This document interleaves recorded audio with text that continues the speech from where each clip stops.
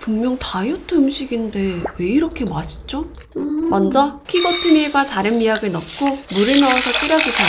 끓기 시작하면 기름기를 빼둔 참치를 넣어주시고 국간장 한 스푼과 액젓 반 스푼을 넣어서 저어가면서 끓여줍니다. 액젓 없으신 분들은 국간장만 넣어주셔도 괜찮아요.